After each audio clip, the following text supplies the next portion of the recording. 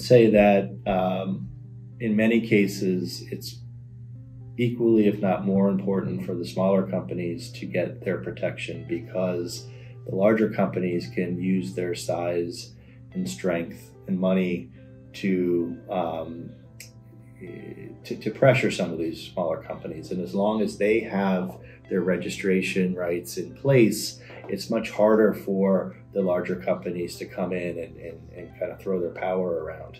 Um, we are working on a case right now where we're representing a smaller company um, and trying to get them a trademark application.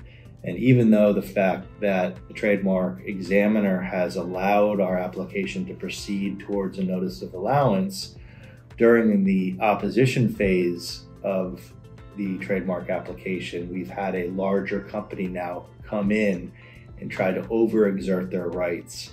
Uh, Lucian's working on this case right now, and maybe you can talk a little bit about um, what some of their strategies are versus our strategies as a smaller company.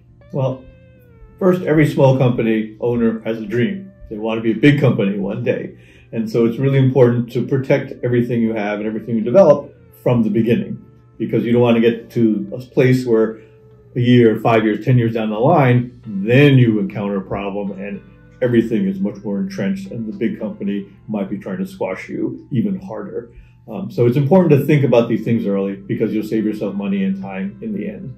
It's also really important because as a little company, maybe one day you want to sell yourself to the big company. And that big company is going to say, well, what do you have? And you say, well, I have my inventory, I have my ideas. And they say, well, what ideas do you have? Do you have a trademark? Do you have a patent on your devices? So what are you really selling? And so that's something a small company owner has to think about at the very beginning. Yeah, that's an important point um, for small companies that are looking to get funding um, to kind of get to the next step and grow their business. Uh, most of the funders will look to an IP portfolio. If you don't have one, you're going to find that funding is going to become much more difficult to obtain.